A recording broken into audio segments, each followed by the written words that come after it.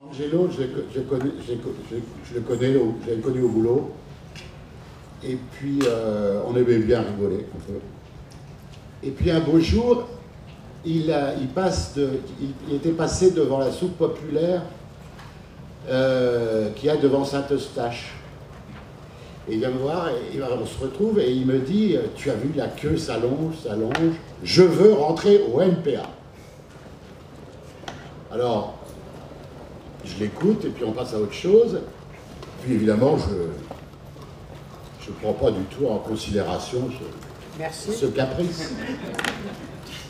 Alors, un, un, mois plus tard, je veux rentrer au MPA. Merde. Alors, j'avise Sabado. Il y en a qui connaissent Sabado. Euh, et en lui disant j'ai un grave problème à te soumettre. Alors, Sabado me dit on ne voit qu'un type qui pourrait chercher une solution c'est Daniel Ben Saïd. Alors, donc, réunion avec Daniel Ben Saïd, mais Daniel, je ne sais pas, il était peut-être intimidé demandait à ce que Philippe Pignard soit des nôtres. Alors les voilà partis à discuter de Peggy. Bon alors, pour l'engagement d'Angelo, en fait, mes, mes, camarades avaient choisi une, solution à minima. C'est-à-dire l'abonnement à la presse du LPA, l'adhésion ferme à la société Louise Michel, euh, l'abonnement à la revue Contretemps, tout ça des créations Daniel, et euh, Contretemps auquel euh, Angelo donne des papiers de temps en temps. Alors, deux mots sur, euh, je dis deux mots sur lui. Donc, il, a son, il, a, il était journaliste. Il a, Maurice Nadeau, grand découvreur, décou, édite ses deux premiers romans, 69 et 71. 71, euh, c'est la loge du gouverneur, non? Oui, oui. La loge du gouverneur obtient le prix féminin. Euh, Rinaldi a besoin de gagner ça. C'est pas un rentier. Euh, donc il fait la chronique littéraire dans l'Express, puis dans l'Obs, puis euh, au Figaro, et puis maintenant un peu n'importe où, en particulier à Contretemps. Et, et là, c'est insolite il est reçu à l'Académie française en 2002. Euh, oui, je crois. Alors, vous enfin, il n'y avait pas Sarkozy, donc euh, c'était ouais, peut-être que 2002. Oui, voilà. Vous voyez le drôle de lapin.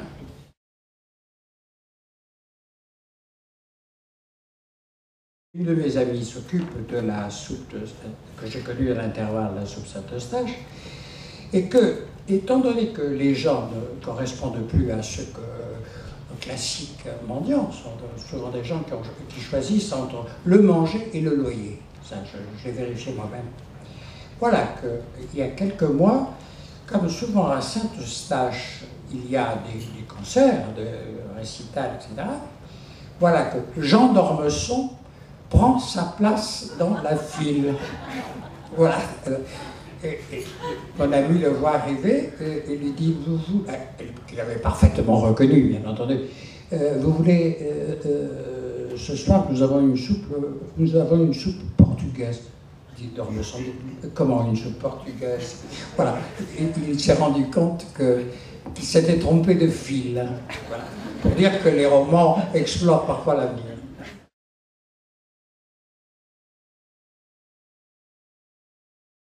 je voudrais vous lire ce passage. Là, on est dans un roman. Donc, il y a 12 romans dans Rinaldi, ils sont tous sortis en poche, sauf le dernier, qui ne devrait pas tarder. Et donc, ce, pour moi, c'est un des romans que je préfère, qui s'appelle Dernière nouvelle de la nuit. Et dedans, il y a cette scène qui apparaît de la queue pour la soupe populaire à l'église Saint-Eustache. Et je voudrais vous lire ce passage qui, là, donc, est un passage d'un roman. Qui est, curieusement, on avait fait la même idée. Alors donc, il s'agit d'un héros qui s'appelle Marceau.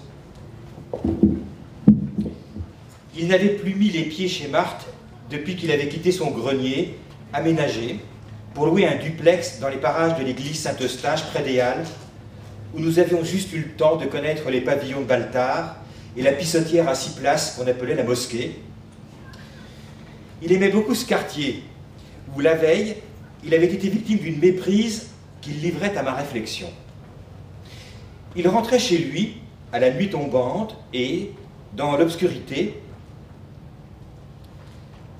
et, excusez-moi, il rentrait chez lui à la nuit tombante et, dans la pénombre de la ruelle qui contourne l'édifice, ne s'était-il pas figuré que la longue file d'attente, le long des grilles du parvis, était constituée des mêmes gens qui, sous les arcades de la comédie française, guettaient l'ouverture des guichets de location? Dans l'un des sous-sols de la crypte, ne donnait-on pas quelquefois des représentations de théâtre? Il s'était approché, disposé à prendre son tour, si, d'après l'affiche, la pièce en eût valu la peine. Le chômage avait cela de bon qu'on en profite pour retourner au théâtre et au cinéma. Lorsque je me suis installé dans le quartier, dit-il, il n'y avait que des clochards qui traînaient par là, des vieux, des barbus, un litron dans la poche du manteau, des clodos pour touristes, de la figuration, tu vois. Aujourd'hui, ce sont des types comme toi et moi. Les œuvres de la paroisse leur servent un dîner. Peut-être pas aussi copieux que celui-là, mais enfin, au resto j'ai certainement avalé pire. Je me suis aperçu aussi que l'été, les œuvres ne distribuent plus à manger. Ou la faim part en vacances, ou ceux qui la nourrissent la supportent mieux quand il fait chaud.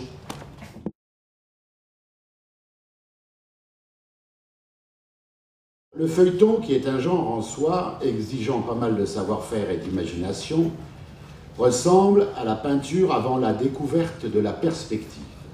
Tout y est à une seule dimension, à commencer par les personnages.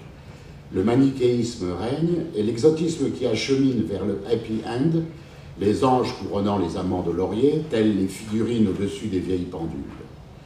La catégorie a cependant eu des illustrations ainsi que l'on aurait tort, que l'on aurait tort de dédaigner. Eugène Sue, dandy de gauche qui avait le sens du fantastique social, et Michel Zévaco, le plus flamboyant écrivain qu'une certaine île ait procuré à la métropole après son rattachement. Ou plus près de nous, Philippe Heria et Henri Troyat, qui confectionnent leurs popotes en appliquant des recettes immuables. Elles maintiennent à l'ère néolithique le récit, qui a évolué et donne des contes de fées aux adultes qui refusent de voir la réalité. Bon, alors ma question est la suivante. Quelle est la différence entre le feuilleton et le roman tel que tu l'entends? Tel, que je l'entends, euh, le, roman finit d'une façon ambiguë, comme, euh, comme très souvent la vie. Le bien ne triomphe pas forcément, et presque, presque jamais. Et tandis que dans le feuilleton, le feuilleton a, une fonction de, consolation. Hein. Euh, c'est une lecture populaire. et c'est une lecture qui succède à celle des almanachs de l'Ancien Régime. Hein, euh, circulaient dans les campagnes, euh, nous le savons, ces almanachs qui charriaient le tout, y compris des vies de saints et des horoscopes que l'Église désapprouvait, en même temps que des recettes de médecine tout à fait, tout à fait, tout à fait bidons. Et avec euh, l'explosion des libelles de la, la Révolution, puis leur fin par le fin par le funeste Corse, euh, que je n'ai pas besoin de nommer, euh, euh, il ne restait plus que sous une certaine forme pour rendre compte de la réalité sociale que le feuilleton qui échappait, qui échappait à, la censure, mais qui échappait à la censure parce qu'il finissait bien. Et il a été donc une, étape et je regrette beaucoup que l'on ne puisse plus retrouver euh, le livre de, mon ami Jean-Louis Bory euh, euh, sur Eugène Sue, car acheminant son lecteur vers une fin heureuse, forcément heureuse, Eugène Sue trace du Paris populaire, celui qui va préparer 38, qui va préparer 30, 48, plus tard la Commune, des tableaux aussi saisissants que ceux de Balzac. Les descriptions du Paris populaire euh, par Jésus sont vraiment, euh, sont vraiment des, des, modèles. C'est pour ça que euh, euh, Bory avait écrit Tandy, Tandy, parce que quand il gagnait 3 sous, il en, il en dépensait 4. Hein mais, après tout, Baudelaire a, bien acheté 20 paires de gants roses, et après tout, ça n'a aucune importance. Et, voilà, donc si vous voulez, le, le, le feuilleton est, est, une marche avant la lecture sérieuse. J'appelle lecture sérieuse les lectures de l'examen de la vie telle qu'elle et de la société, plus encore, telle qu'elle se présente.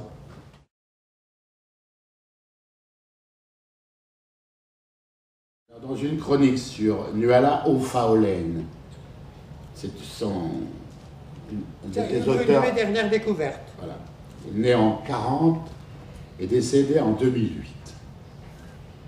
Tu notes que ce qu'elle écrit dans Chimère, son premier livre, oui, son premier qui fut pour toi une révélation, ah. lui aurait valu le même sort autrefois, procès et interdiction, que l'amant de Lady Chatterley de Lawrence, qui date de 1928, où celui-ci rêve d'une sexualité affranchie des barrières sociales. Et alors, je te cite, la scène du lit entre deux êtres conscients de leur faiblesse à tous égards donne lieu à un morceau d'anthologie. Par un stupéfiant mélange de crudité et de retenue, par de menues variations sur une gamme bien timbrée et le soin réservé à la tonalité d'ensemble. Et ainsi se déploie l'éblouissement et déchirante magie des dernières fois à tout le monde promise. Alors dans la même chronique, tu dis, tu, as fait, tu insistes sur le fait qu'on se tromperait en assimilant, parce que la scène est très crue, au Faulen, à la célèbre Catherine Millet. Millet, Millet l'auteur à succès de La vie sexuelle de Catherine M., qui, au fond, comme d'autres écrivains du moment, je te cite, écrivent des contes de fées, des contes de fées, pour boucher puisqu'il s'agit moins de chair que de barbac. L'heureuse disparition de la censure nous a montré que la pornographie et la sentimentalité, c'est pile et face, l'envers et le revers d'une même médaille. Pornographie et sentimentalité, pile et face, envers à verre d'une même médaille. Expliquez-vous. Ah, je m'expliquerai en disant que la pornographie, c'est un peu le conte de fées des adultes. Ça ne se passe jamais, ça se passe jamais comme ça. Quant à Madame Millet, qui n'a rien de la douceur de l'Angélus, euh, euh, finit par donner un sentiment euh, d'irréalité, comme le, comme, comme le donne Sade. Il y a dans dans la sexualité euh, euh, une composante de, de sentiment, quelle qu'elle soit, fût-ce pour une brève rencontre, euh, qui n'est jamais rendue par la pornographie, qui est irréelle, parce que ce qu'on y voit obéit à un scénario, obéit à un délire, et, ne rejoint pas du tout, ne rejoint pas du tout la réalité, et, surtout, elle supprime l'humain il n'y a, plus de sentiments. Euh, c'est pourquoi je parle de, je parle de Barbac, parce qu'il euh, suffit de voir un, film porno une fois, une fois dix minutes, pour les, pour les connaître tous. Cependant, je dois dire que euh, j'ai fait allusion à, à, à, à, Lily Chatterley, qui, vous savez, a été longtemps interdite et simplement publiée à Paris en anglais. Il est évident que, euh, comparé à certains romans d'aujourd'hui, euh, la scène où l'on voit euh, Lady Chatterley et le garde-chasse, et la description de, du ventre du, garde-chasse, a, contribué à l'évolution, à une certaine liberté de, de ton. C'est-à-dire qu'on peut tout dire, mais on en arrive à ce paradoxe-là, c'est qu'en disant tout, on dit rien. Je crois à la force de la suggestion, je crois à la force de la retenue. Je crois, euh, aussi que le lecteur est assez intelligent si on lui donne des petits points de référence pour euh, l'acte de chair, cher Mauriac, et dont euh, Horace Walpole disait à sa maîtresse, Madame du Deffand, maîtresse platonique, il y avait 40 ans qu'il est, qui, les séparait, la posture est ridicule et le plaisir dure peu. Euh, donc, euh, la force, pour moi, vient de la, essentiellement de la suggestion. Bon, il y a des détails qu'il faut dire, comme dans cette première phrase qui émue il y a plus de 40 ans une duchesse. Euh, euh, il y a des choses qu'on ne peut pas éviter, mais si complaire c'est quelquefois dévitaliser le, le, roman et dévitaliser le théâtre aussi. Et je vous signale, par parenthèse, que la grande force du théâtre de Pinter est un théâtre euh, d'allusion, où nous ne savons pas où nous débarquons, mais où petit à petit, les drames, la haine, les séparations, la fin d'un amour se précisent au fur et à mesure, sans que, euh, sans que rien ne soit dit d'explicite, mais que tout est confié à l'intelligence du lecteur. Ça n'a pas porté malheur à Pinter, qui a été traduit dans le monde entier et qui a eu le Nobel. Et donc je voudrais saluer au passage euh, l'hostilité totale depuis le début contre Tony Blair et, et la guerre d'Irak.